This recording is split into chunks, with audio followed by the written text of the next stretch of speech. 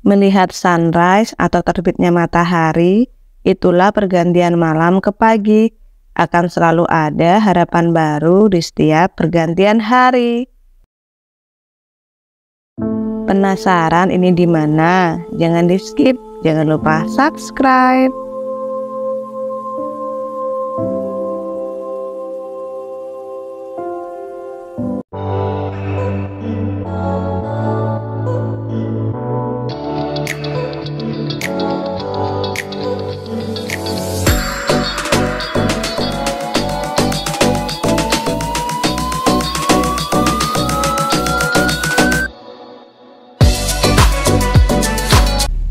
Hai teman-teman, jalan-jalan lagi di Vanda Air Channel.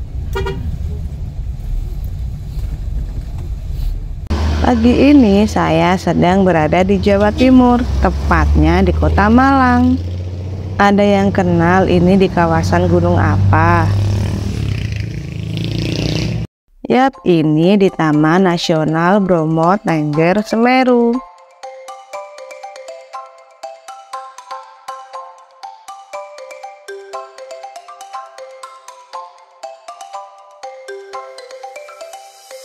Saya tiba di lokasi untuk menuju ke Bromo pukul 2 dini hari karena saya ingin melihat matahari terbit di penanjakan satu Gunung Bromo. Untuk menuju lokasi kawasan Gunung Bromo, kita wajib menggunakan jeep karena jalannya sangat ekstrim, naik dan turun. Dan perjalanan menuju penanjakan satu kurang lebih satu jam.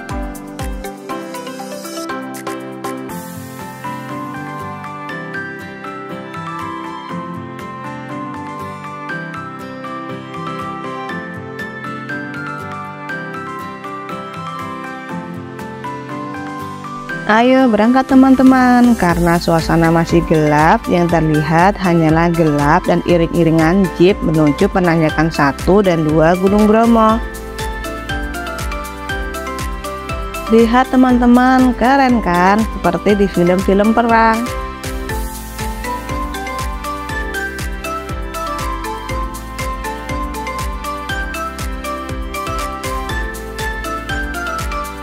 Menurut saya, perjalanan menuju ke sini harus dalam kondisi badan yang prima, dikarenakan medan jalan yang sangat ekstrim naik dan turun. Belum lagi saat ini jeep memasuki kawasan gunungan pasir yang tebal sehingga membuat jeep bergoyang kencang.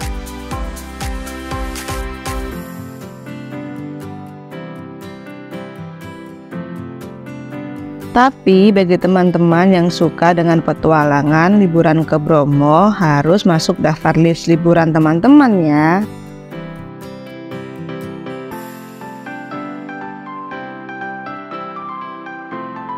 Sampai juga kita di penanjakan satu Gunung Bromo.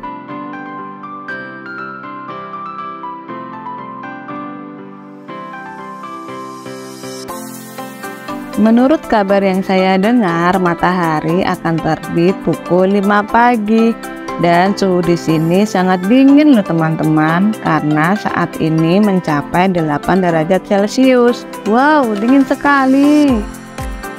Kalau teman-teman ke sini wajib ya menggunakan jaket yang tebal, sarung tangan dan tutup kepala dan juga masker karena suhunya sangat dingin sekali. Sambil menunggu matahari terbit, ngopi dulu yuk teman-teman agar badan terasa lebih hangat.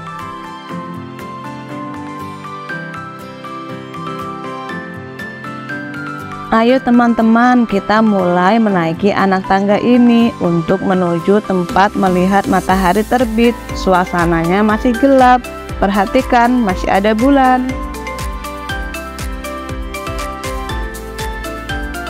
Suhu di sini sangat dingin loh teman-teman. Jujur saya sempat mengalami hipotermia, tapi saya mencoba untuk loncat-loncat agar suhu badan saya lebih panas dan cara ini berhasil loh.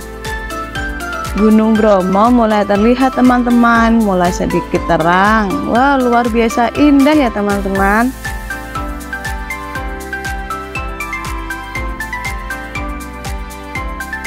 Nama Gunung Bromo berasal dari nama dewa utama dalam agama Hindu yaitu Brahma.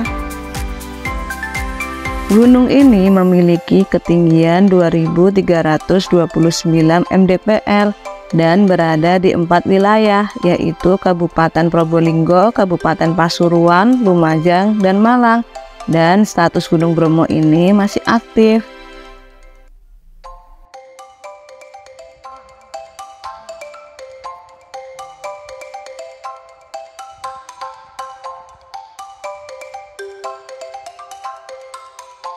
Lihat teman-teman matahari mulai terbit. Saya benar-benar merasakan kehangatan mentari bersinar di pagi hari.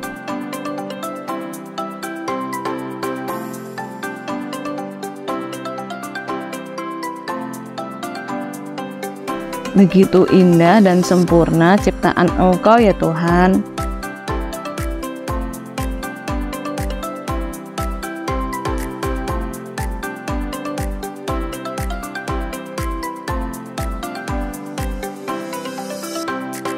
lanjutkan petualangan berikutnya ya teman-teman. Mari kita menuju tempat selanjutnya. Karena jalannya ekstrim saya tidak bisa mengambil video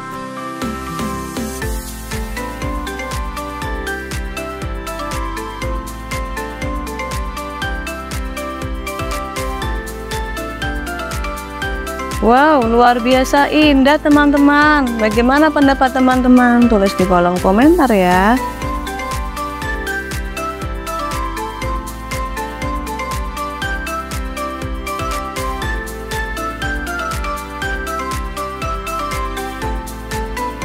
Ini saya sedang di bawah Bukit Widodaren. Bukit Widodaren ialah objek wisata alam yang lokasinya tidak jauh dari Gunung Batok serta Gunung Bromo.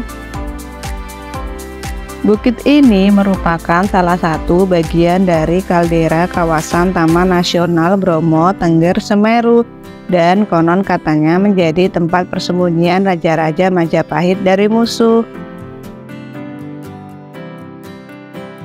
Bagaimana? Semakin seru kan? Ayo kita lanjutkan petualangan selanjutnya. Sekarang saya sedang di kawasan Gunung Batok, Kawah Bromo yang sering disebut juga pasir berbisik.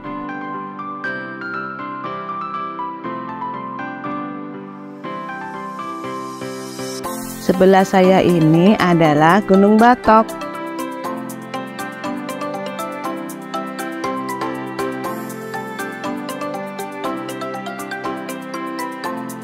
Wow, lihat teman-teman, itu kawah Bromo sedang mengeluarkan asap.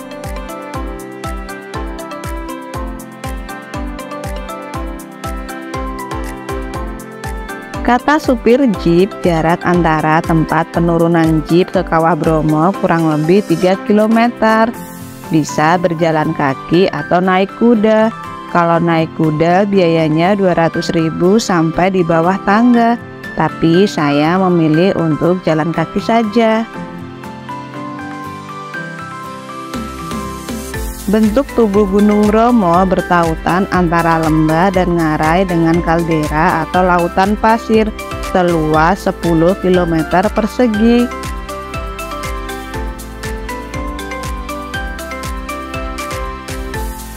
Di sebelah kiri saya ada pura yang cukup besar bagi suku Tengger, Bromo sebagai gunung suci. Tiap setahun sekali masyarakat Tengger mengadakan upacara nyatnya Kasodo. Upacara ini diadakan pada tengah malam hingga dini hari tiap bulan purnama sekitar tanggal 14 atau 15 pada bulan Kasudo atau ke-10 pada penanggalan Jawa.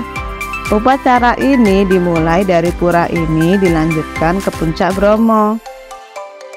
Ayo kita jalan menuju Kawah Bromo. Sampai juga di Kawah Bromo, perjalanannya cukup menguras energi loh, tapi akan terbayarkan dengan pemandangan yang luar biasa indah.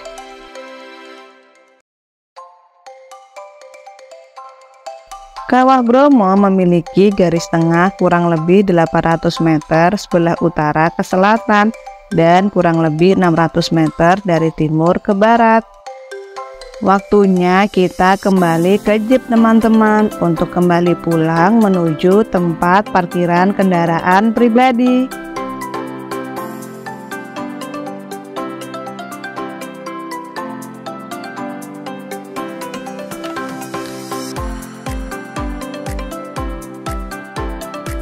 Jangan lupa foto dulu.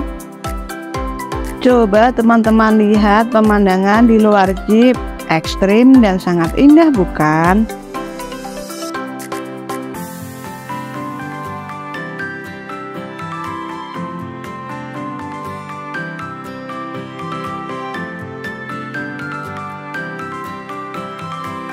Sampai di sini dulu jalan-jalan Iviana Air Channel. Sangat disarankan untuk berkunjung ke sini ya.